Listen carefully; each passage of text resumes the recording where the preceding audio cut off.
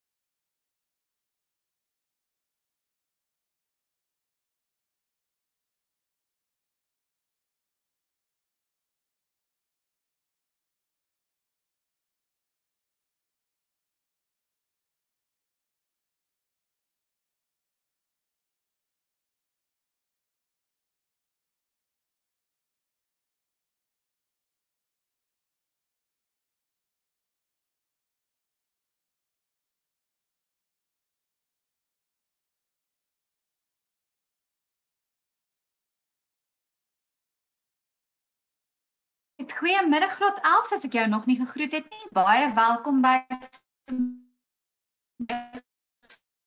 wiskunde online. Kan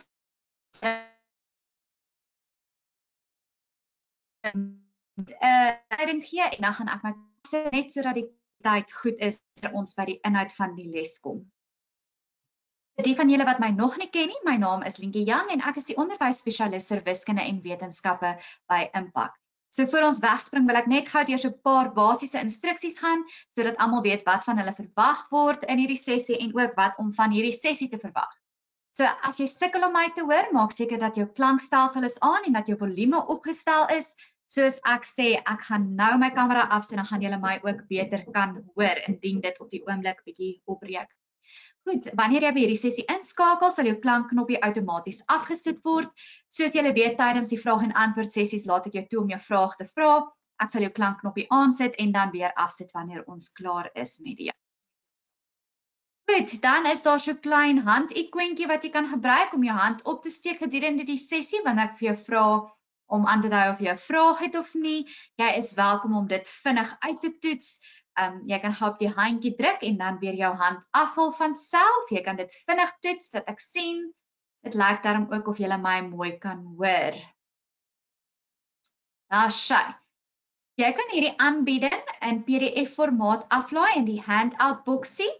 Nou bietjie anders as al die vorige sessies, het ek vir julle twee formate of twee um dokumente daarop gelaai. So die een dokument is hierdie aanbieding in PDF formaat En dan sal jy sien net ek vir jou 'n ekstra vraag daaraan geheg. Um so daardie ekstra vraag wil ek asseblief hê jy gedurende hierdie sessie moet aflaai. Jy kan sommer nou daarop um klik en dan gaan jy hom sommer kan aflaai nou. Um dit is 'n ekstra vraag wat ek asseblief wil hê elkeen van julle moet doen. Ek het ook vir julle die memorandum daarvan aangeheg. Um sodat jy kan sien watter stappe is gevolg. Goed, so maak seker dat jy daardie twee dokumente aflaai gedurende hierdie sessie, aangesien as ons hierdie uitsending stop, gaan dit nou nie meer hier vir jou beskikbaar wees nie. So doen dit sommer nou terwyl ek besig is met hierdie inleiding tot die les. Goed. Ehm um, indien jy enige vrae het en jy voel nie gemaklik om jou vrae hardop te vra op hierdie platform nie, is jy welkom om jou vraagie te plaas in die vraagboks. Ek gaan altyd na die vraagboksie toe en kyk of daar enige vrae daar geplaas is wanneer ek die vraag en antwoord sessies doen. Al ons deelnemers word aangemoedig om vrae te vra en om kommentaar te lewer, maar indien jy irrelevante of onvanpaste kommentaar lewer, gaan jy ongelukkig van hierdie sessie ontslaan raak. Goed, ek kry gewoonlik tyd om na almal se vrae te luister, maar indien hierdie sessie verby is en jy het nog enige akademiese navrae, is jy welkom om 'n e-pos te stuur na academics@impact.co.za. Soos ek genoem het, ek gaan ook elke vraag en antwoord sessie na die vraagboks toe om te kyk of jy daar vir my 'n vraagie gelos het. Indien jy 'n vraagie daar geplaas het en hy is nie beantwoord gedurende hierdie sessie nie, sal ek vir jou terugvoer via e-pos stuur. Indien daar onbeantwoorde vrae was en jy het nie terugvoer van my af ontvang in die week nie, is jy welkom om 'n e-pos te stuur na info@impact.co.za. Al die vorige aanlyn klasse se opnames is beskikbaar op die Impak webtuiste. Ek het vir jou verlede week verlede keer gewys hoe om dit op die webtuiste te kry en ek sal jou weer herinner aan die einde van hierdie sessie. Goed, net weer herinnering, onthou asseblief om die notas af te laai in die handout boksie op jou skerm. Goed, steek vir my asseblief vinnig op julle hande dat ek net sien julle almal kan my hoor en is reg om weg te spring met hierdie sessie. Daar's sy, dit lyk sommer goed. Um jy is welkom om jou hand self af te haal en ek gaan nou my kamera afsit sodat die klankkwaliteit goed is gedurende hierdie sessie. Um ek is nog hier so moenie skrik nie.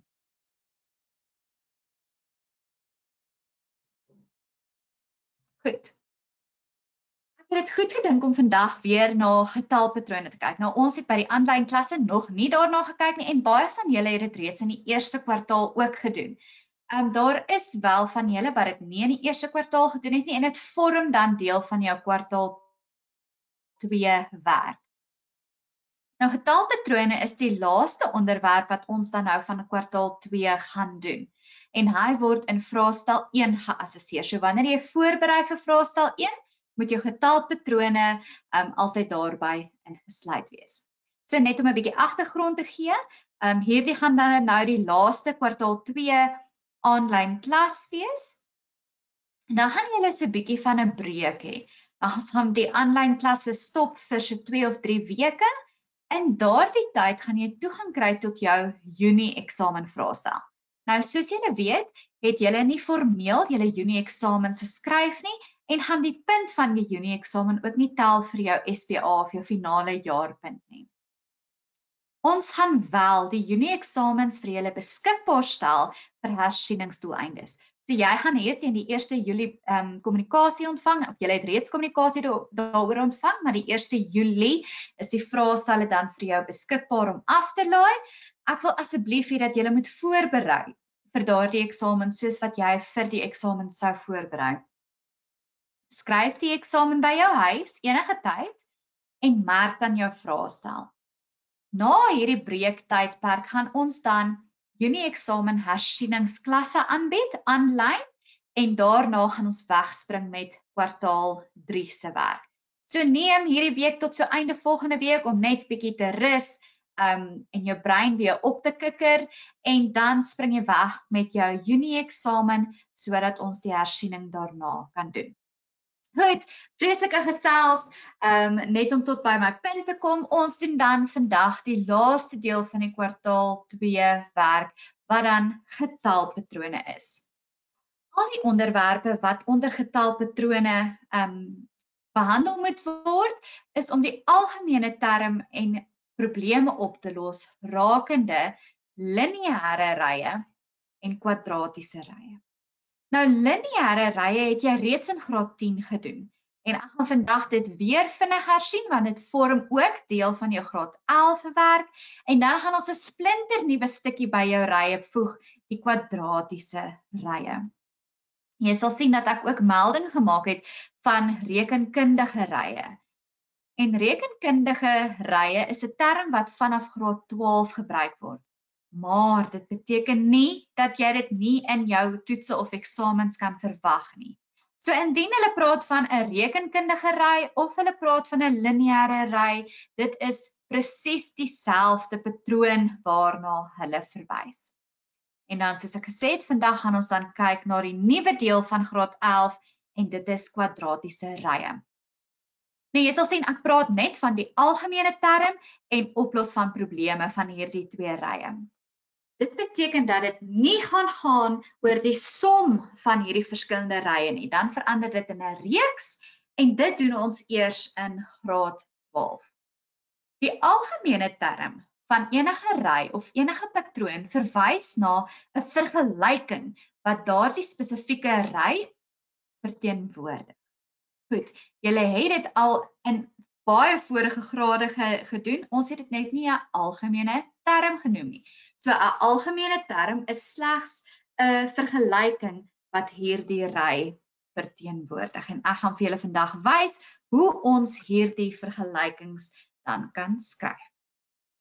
Goed, kom ons begin met hersiening van jou rekenkundige of jou lineêre rye. 'n lineêre ry het 'n algemene verskil, 'n gemeene verskil. Dit beteken dieselfde verskil.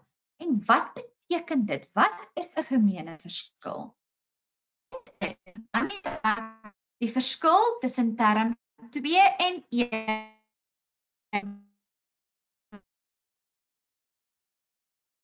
As ek die verskil tussen 2 kry, gemeen beteken dieselfde, verskil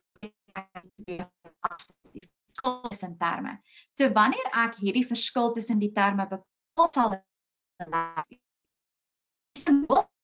om die gemeene verskil voor te stel is D. Hoe bepaal ek so 'n algemene verskil? En ek wil hier vir julle noem dat hulle nie vir jou gaan sê jy werk nou met 'n lineêre ry nie. Jy gaan self moet bepaal met watter tipe ry werk ek met lineêr of kwadraties. Partykeer is hulle oulik in die vraestelling en hulle sê vir jou hierdie is 'n lineêre ry, maar hulle doen dit nie altyd nie. So, jy moet gaan toets met watter tipe ry jy werk. En 'n algemene verskil of 'n gemeene verskil is die kenmerk van 'n rekenkundige ry. So kom ons kyk. Kom ons toets watter tipe patroon is hier vir my gegee. Nou ek het gesê die verskil is tussen twee terme. Die tweede term minus die eerste term. Kyk mooi. Dit is die tweede een minus die eerste een. Derde een minus die een voor hom. Vierde een minus die derde term. So dis altyd die groter term minus die vorige term. Nou as ek hier kyk, 9 minus 5 gee vir my 4. 13 minus 9 gee ook vir my 4. 17 minus 13 gee ook vir my 4. Dit beteken dat hierdie verskil tussen die opeenvolgende terms terme is dieselfde. Dit is 'n gemeene verskil. En dit dui vir my aan dat ek met 'n lineêre ry werk. So hier het ek dit net bietjie groter gestel en um, ek het die patroon vir jou neergeskryf en net gewys. Tweede term minus my eerste term is 4. 13 minus 9 is 4. 17 minus 13 is 4.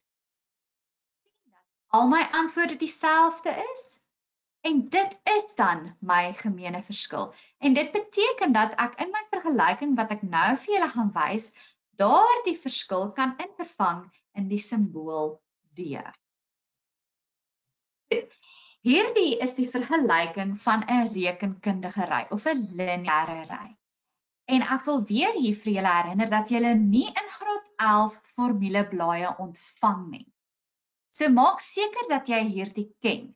Vanaf graad 11 mag jy hierdie formules gebruik en jy hoef nie meer deur inspeksie op 'n um, vergelyking of 'n algemene term van 'n ry uit te kom nie, jy mag gebruik maak van hierdie vergelykings. Onthou net dat dit nie vir jou gegee gaan word nie, jy moet dit uit jou kop uit ken. En hierdie vergelyking is spesifiek net vir lineêre rye. Jy mag dit nêrens by enige ander patroon gebruik nie. Dit is net vir lineêre rye beteken 'n patroon wat 'n gemeene verskil het. Kom ons definieer net vinnig al hierdie simbole. EN staan vir my algemene term. A is die eerste term in die ry of in die patroon wat vir jou gegee word. N is jou termnommer. En D is jou gemeene verskil tussen die terme. So ons het nou reeds oor D gepraat. Nou om vir julle te wys hoe hierdie gevra kan word en hoe dit gevra gaan word en hoe om die berekeninge te doen, het ek besluit om dit met 'n voorbeeld vir julle te wys. En julle sal sien daar staan vraestel 2 daaronder. Dit is 'n fout. Dit moet vraestel 1 wees. So hierdie vraag kom uit vraestel 1 omdat getalpatrone in vraestel 1 gaan. Hulle sê daar by 3.1 gee die lineêre patroon, gegee die lineêre patroon 7, 2 en 13. So hulle het vir my daar term 1, term 2 en term 3 gegee. Hierdie inligting van lineêre patroon maak dit nou vir my baie lekker maklik, want ek weet reeds dat dit 'n gemeene verskil het. Nou vra hulle vir my by 3.1.1. Bepaal die algemene in 'n term Tn van die lineêre patroon. So nou wil ek vir julle sê verskoon asseblief hierdie vreeslike skrif. Um, ek gaan met my muis hier skryf vir julle, so um, dit mag dalk snaaks lyk. So ons het gesê hierdie 7 is my term 1. 2 is my term 2. En minus 3 is my term 3. Hulle sê ook vir my dit is 'n lineêre patroon. Dit beteken ek gaan kyk en ek onthou van hierdie vergelyking.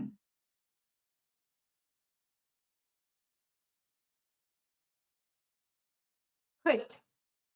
Ek kan my D bepaal want ek het genoeg terme om dit te doen.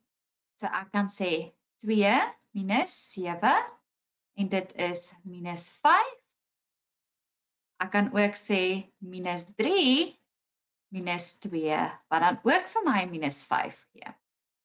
Gemeene verskil dit pas in by lineêre patrone en dit wys net vir my dat die verskil werklik gemeen is. Dit beteken dat ek hierdie minus 5 in die plek van my b kan vervang. A is my eerste term en ek kan dit maklikie sien dis vir my gegee en dit is 7, so ek kan 7 daarin vervang. Wanneer 'n algemene term vir jou gevra word, hoef jy nie 'n waarde vir n te hê nie. Dit sê dan Tn. Hulle wil die algemene term hê. Tn is jou algemene term. Dit beteken hy's oop vir enige n waarde. n gaan altyd 'n veranderlike wees wanneer ons werk met ons algemene term. Goed. So hoe gaan ons dit skryf? Jy weet is 'n lineêre patroon, so jy skryf daardie vergelyking vir jou neer. Ons weet dat my eerste term gelyk is aan 7. Ons het vir D bepaal as -5 en ek gaan in my A se plek dan 7 vervang, in my D se plek -5 vervang. Goed, soos ek gesê het, jou n gaan steeds 'n veranderlike bly. Ek het dit nou net vir julle vereenvoudig en jy moet dit ook vereenvoudig in jou vraestelling. 7 so minus 5 maal n is minus 5n. Minus 5 maal minus 1 is plus 5. 7 plus 5 is 12 minus 5n.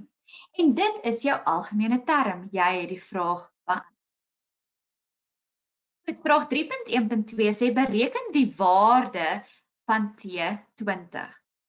Dit beteken hulle wil die waarde van die 20ste term weet. En sien jy dat hulle in die plek van my n van my algemene term 'n 20 vervang het. Dit beteken dat jou termnommer wat n is vervang word met 20. So, jy gaan sê T20 is gelyk aan 12 minus 5 en jou n van jou algemene term vervang jy dan met 20 wat hulle vir jou gegee het.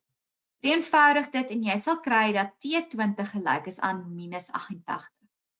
Dit beteken dat wanneer ek aangaan met hierdie patroon wat vir my gegee is en ek kom by my 20ste term, sal die waarde van daardie term minus 88 wees. Goed. 3.1.3 vra watter waarde vra watter term wil hulle weet die term nommer. Watter term, die hoeveelste term in hierdie patroon het 'n waarde van minus 138. Wanneer hulle 'n waarde gee of 'n waarde vra, wil hulle hierdie hele groot TN op die kant hê. So daar gaan ek hom in vervang en ek wil die term nommer hê. Ek wil vir n hê. So ek gaan vir n bepaal wat steeds my algemene term. Ek sit die waarde in Tn se plek is gelyk aan 12 minus 5n. Ek vat my 12 oor na die ander kant toe, dit trek daar af. Minus 150 is dan minus 5n en deel beide kante met my minus 5 om n te bepaal. Dit beteken dat wanneer ek aangaan met die patroon tot by my 30ste term, my term nommer 30, sal die waarde van daardie term minus 138 wees. Daar het hulle omgegee. Vraag 3.2 is op sy eie. Nou sê hulle 6 2x plus 1 en 3x minus 3 is die drie eerste terme van 'n lineêre patroon. Bereken die waarde van x. So, Hulle het daar vir jou my eerste term gegee. Eerste term, skus. En daar my tweede term gegee. En hier het hulle my derde term vir my gegee. En hulle het weer vir my lekker inligting hier gegee rakende 'n lineêre patroon. Wat weet ek van 'n lineêre patroon? Dit het 'n gemeene verskil. Dit beteken as ek hierdie term 3 wat vir my gegee is, neem en ek trek term 2 af, gaan dit vir my dieselfde gee as term 2 minus term 1. Dis tog wat hierdie lineêre patroon beteken. Goed. As jy dit invervang, gaan jy net een veranderlike hê en dit is x. Dit stel jou in staat om dan vir x op te los. Goed. Soos ek gesê het, jy gaan dan neem T2 term 2 minus term 1 is gelyk aan term 3 minus term 2. Ek kan dit skryf want ek weet dit is 'n lineêre patroon. Dan vervang ek dit in. Term 2 is 2x 1 minus term 1 wat minus 6 is is dan gelyk aan term 3 wat 3x minus 3 is minus term 2 wat minus 2x plus 1 is. Ek maal dan my minus in daar en ek vereenvoudig so bietjie hier. Vereenvoudig nog so bietjie en ek vat al my x'e een kant toe toe, alles sonder my x'e en een en dit is wat my vraag daarbo gevra het. Ek moet die waarde bepaal van x. Goed. Jy is welkom om jou hand op te steek as jy 'n vraag het. Um Hildegard vra of 'n mens ook die formule Tn is gelyk aan An plus C gebruik as mens die formule bepaal. Jy is welkom Hildegard, jy kan dit ook gebruik.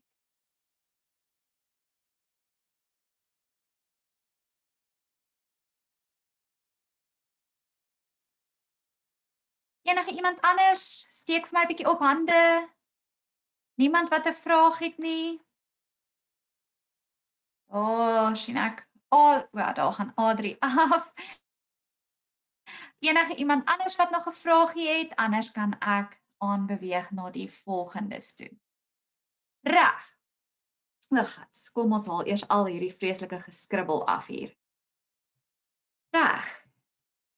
Volgende wil ek kyk na die kwadratiese ry. En dit is nou die nuwe werk van graad 11. So let gou mooi op En dit is ook die vraag wat ek vir julle ekstra bygevoeg het in die um handout boksie. So laai dit af en doen dit by jouself ook dat jy bietjie oefening kan kry en kan sien hoe dit gevra word um in 'n vraestel. Goed. Kwadratiese ry gee jou al klaar so 'n bietjie van 'n wenk tot wat jy hier gaan sien. Kwadraties beteken tot die mag 2. En as ek na die algemene term kyk van 'n kwadratiese ry, sien ek a en kwadraat plus bn plus c. En dit is ook 'n vergelyking in die vorm van jy parabool sal. 'n Parabool sê ook a en kwadraat plus bn plus c. En dit is tot die mag 2 kwadraat en natuurlik is dit my algemene term. So hulle gaan weer eens vir julle vra bepaal die algemene term. Hulle vra dit altyd. En veral met kwadratiese rye, want hier is so 'n bietjie bewerkings in wat hulle nie vir jou gaan gee op 'n formuleblad nie eers in graad 12 nie. Goed. Nog iets wat dit vir jou maklik maak om te onthou en ek gaan nou vir jou wys hoe dit gaan werk, is dat kwadratiese ry het ons nou gesê wys tot die mag 2. Nou hulle gaan weer eens nie vir julle sê hierdie is 'n kwadratiese ry nie, so jy moet toets is dit 'n lineêre of 'n kwadratiese ry. Nou lineêr gaan jy toets het ek 'n gemeene verskil. En by kwadraties kan jy gaan jy die gemeene verskil probeer kry en jy gaan sien dit werk nie. Dan gaan jy nog 'n verskil kry twee keer. Jy weet tot die mag 2 kwadraties. So dis ook bietjie vir jou 'n wenk tot met wat is die hierdie tipe rye se naam. Goed. Ek gaan 'n voorbeeld gebruik om hierdie vir julle te verduidelik. Hulle sê vind die algemene term, so hulle soek die TN vergelyking en vervolgens die aantal terme in die ry. En dan gee hulle vir jou die ry 15, 17, 26 tot en met 10202. Hulle sê nie vir jou, sien jy, daar sê hulle nie vind die algemene term van die kwadratiese ry en vervolgens die aantal terme in die ry nie. Nee, hulle sê net vind die algemene term. So waar jy altyd begin is om te kyk of jy 'n algemene verskil het want jy het in elk geval daai stappie nodig om dit te doen met kwadratiese rye ook. So nou begin jy en jy sê term 2 minus term 1. 10 minus 5 is 5. 17 minus 10 is 7. Hmm, daar ek al klaar. Dis daar 'n verskil tussen my verskille. So iets is nie reg nie. Dan gaan jy verder aangaan. Goed, ek maak dit vir julle eers bietjie groter. So ons het nou gepraat oor dit is my ry en ek bepaal dan die verskil tussen term 2 minus term 1 is 5, term 3 minus 2 is 7, term 4 minus term 3 is 9 en ek sien dat dit nie 'n gemeene verskil is soos wat ons kry by lineêre patrone nie. Goed, en hy gaan aan tot aan die einde jy hoef nou nie berekeninge tot daar te doen nie. Dan sê hy, kom ek doen dit 'n tweede keer kwadraties. 2. Kom ek vind 'n verskil vir die tweede keer. 7 minus 5 is 2. 9 minus 7 is 2. Nou sien ek wanneer ek my tweede verskil gekry het dat hy 'n gemeene verskil is. So ek het 'n gemeene tweede verskil en daardie dui dan vir my dat ek met 'n kwadratiese ry werk. Goed. So jy jy gaan altyd begin om te kyk of jy 'n gemeene verskil het. As jy nie het nie, gaan jy aan tot 'n tweede gemeene verskil. Die volgende 3 vergelykings gaan nooit ooit ooit ooit vir jou gegee word nie. Jy moet dit leer. Jy moet dit uit jou kop uitken en weet hoe om dit toe te pas. Dit is regtig baie maklike wiskunde. Jy moet net hierdie kort vergelykingkies en formuletjies onthou. Goed. Die eerste een is en jy gaan dit gebruik om jou algemene term te bepaal. 2a is gelyk aan die eerste term van jou tweede gemeene verskil. Waar is hy? sien jy? Eerste term van my tweede gemeene verskil. Die volgende een wat jy moet onthou is 3a + b sal ek aan die eerste term van jou eerste verskil. Die derde enetjie wat jy moet onthou is a b c is die eerste term van die ry. So daardie drie vergelykingkies van 2a is gelyk aan die eerste term van my tweede verskil, 3a plus b is gelyk aan die eerste term van my eerste verskil en a b c is die eerste term van my ry, moet jy ken. Nou hoe op aarde gaan ek dit gebruik om my algemene verskil te bepaal? Kom ons begin by die eerste een. Ek het gesê 2a is gelyk aan my eerste term van my tweede gemeene verskil. So 2a is gelyk aan 2 en ek kan vir a daar oplos. Goed. Nou beweeg ek aan na my tweede vergelyking. Toe en ek sê 3a plus b is gelyk aan die eerste term van die eerste verskil. So dit gaan wees 3a plus b is gelyk aan 5. Nou ek het reeds vir a in my vorige stapie bepaal. So ek kan vir a vervang met 'n 1. So ek gaan 3 maal 1 plus b is gelyk aan 5. En dan kan ek vir b oplos. b in hierdie geval is 2. Die derde stapie is dan a plus b plus c is gelyk aan die eerste term van die ry en dit is dan ook gelyk aan 5. Ek het vir a, ek het reeds vir b, ek kan hulle beide in vervang. a is 1, so dis 1 plus b wat 2 is So 1 plus 2 plus c is gelyk aan 5. c is dan my enigste onbekende en ek kan hom oplos en sê dat c gelyk is aan 2. Nou sien jy die drie veranderlikes a, b en c. Dit kom ook voor in my algemene term. a(n) plus b(n) plus c. Daardie 3 veranderlikes gaan staan op daardie plekke soos aangedui. Net dieselfde name wat hulle het. Ek gaan hulle net daarin vervang.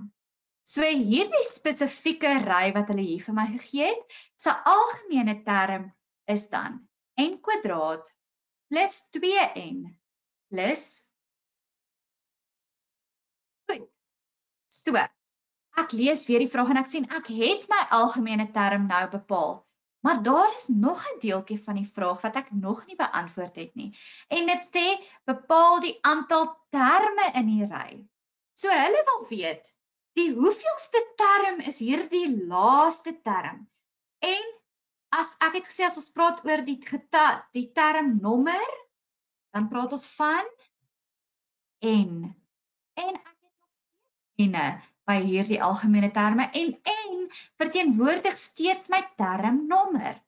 So as ek die waarde van hierdie term het wat in hierdie geval dan my laaste term is, kan ek mos my n gaan betaal, bepaal my um, termnommer. Goed. So ek vat my algemene term soos ek hom bepaal het. Ek vervang hierdie waarde in die hele Tn se plekkie is gelyk aan n kwadraat plus 2n plus 2 ek vat hierdie t en waarde oor sodat dit 0 is gelyk aan n kwadraat plus 2n minus 10200 is. Nou om vir n op te los, wat het jy by algebra gedoen? Jong algebra is 'n ding, nê? Nee, hy kruip oral in by wiskunde. Ons kan net nie van algebra ontslaa raak nie. Ehm um, so Jy gaan dit hier ook gebruik. Ek wou nou amper sê dat algebra is soos die COVID, nê? Nee, hy kruip oral in, maak nie saak hoe ons probeer keer nie. En dit is presies wat algebra doen. So jy mag nooit van algebra vergeet nie. Maak nie saak by watter deel van wiskunde jy besig is nie. Goed. So ek gaan dit faktoriseer.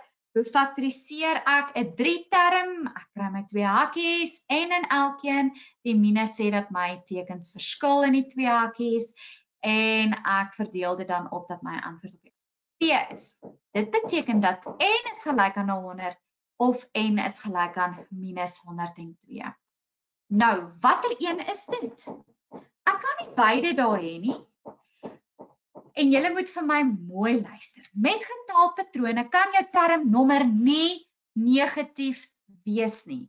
As ek vir jou sê wys vir my die minus 10de term, Hoe op aarde gaan jy dit doen? Jy kan my nie terme skuld nie. Ek kan jou nie terme skuld nie. Ons kan nie negatiewe terme by getalpatrone hê nie. Goed. So altyd wanneer ons vra vir 'n term nommer, as jy n moet betaal by bepaal by getalpatrone, sal die negatiewe waarde altyd nie van toepassing wees nie. Goed. So wat beteken dit? Dit beteken dat daar is 'n 100 terme in hierdie ry wat hulle vir my gegee het. Die 100ste term se waarde is 10202. Goed. Is daar enige vrae van julle kant af rakende kwadratiese rye? Soos ek genoem het, die die ekstra vragie wat ek vir julle aangeheg het is ook 'n kwadratiese ry vragie so julle kan asseblief gaan en dit gaan oefen. Ek sien geen vragies wat in die vraagboksie oppop nie. Ek sien ook nie hande wat opgesteek word nie. Is julle seker? Ek is baie bly dat daar nie hande is nie en ek hoop julle verstaan dit almal. Goed. Dan gaan ek vereers aanbeweeg. Ek het daar vir julle 'n skakel opgesit van getalpatrone. Gaan kyk daarna, ek het spesiaal vir julle Afrikaanse skakels gaan soek. Um so dis vreeslike oulike video's. Julle is welkom om daarna te gaan kyk. En dan die twee skakels wat ek hier by YouTube gesit het, is die skakels um na die video's wat ook op ons platform is. Um so jy kan ook van dit gebruik maak om daar te gaan kyk. Dan het ek gesê ek sal julle weer herinner oor waar om op ons webtuiste te gaan kyk vir ehm um, vorige opnames van klasse en wanneer jy nou bietjie gerus het hierdie week en jy begin voorberei vir jou Junie ehm um, eksamen wat jy gaan skryf vir 'n bietjie ehm um, hersiening, gaan kyk weer na die video's, gaan kyk na die opnames mag jou daar bietjie help met jou leerproses. Goed, ek sien steeds nie hande wat op is nie. Daar is nie nog 'n vragie wat bygekom het in die vraagboks nie. Graad 11, ek hoop julle is almal gemaklik met die werk. Indien jy nie by Impak geregistreer is nie en jy soek dalk nog bietjie meer inligting, is jy welkom om 'n e-pos te stuur na info@impak.co.za. Baie dankie vir elkeen van julle wat ingeskakel het vanmiddag. Ek hoop julle het iets geleer en geniet die rusie wat vir julle voorlê. Um geniet julle gesinne, bly veilig en bly gesond. sien julle weer oor 'n rukkie. Totsiens.